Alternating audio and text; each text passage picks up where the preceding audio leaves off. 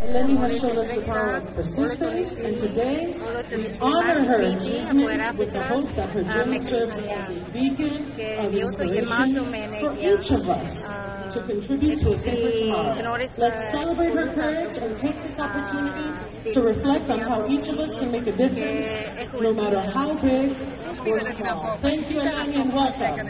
Μουσικό διάλειμμα για να κάνουμε δηλώσεις στα μέσα μαζικής ενημέρωσης η υπεραγγλία μας και συνεχίσουμε με ένα εκπληκτικό πρόγραμμα που σας έχουμε ετοιμάσει.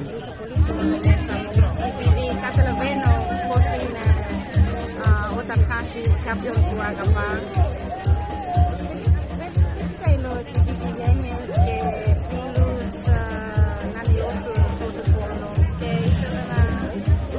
Και όταν έχω μια ιδέα που θέλω να μοιραστώ, το πρώτο σκέψη μου είναι με το τρέξιμο.